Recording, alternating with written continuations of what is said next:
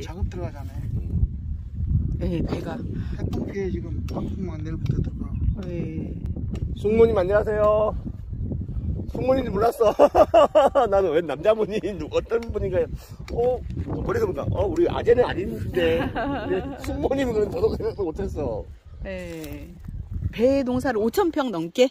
5,274평, 5,274평. 3,000평 와. 가까이 돼. 그래요? 얼마? 아, 6,000평 거의 가까이 돼. 6,000평 가까이. 그 실평수가 농사를- 5,274평. 네. 굉장하시네요. 어. 양이 어마어마하죠. 네, 크시네요. 아니 이제 논농사가 많잖아. 논농사는 얼마나 지세요? 5,800평. 5,800평? 야, 대농이시네. 밭이 이제 양파, 마늘 예.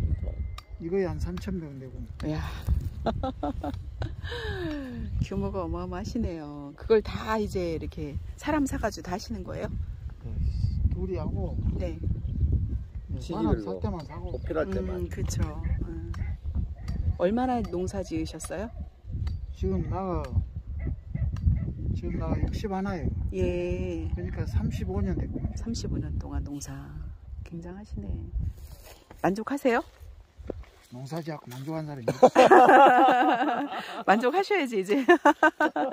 농사 졌는데 만족한다.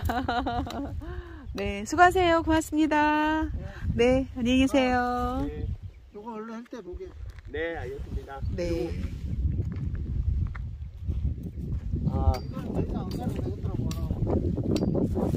농사 현장에서 만족한 날이 오는 그날까지 우리 농부님들 정말 활짝활짝 웃었으면 좋겠습니다. 고흥에서 전미애가 간다.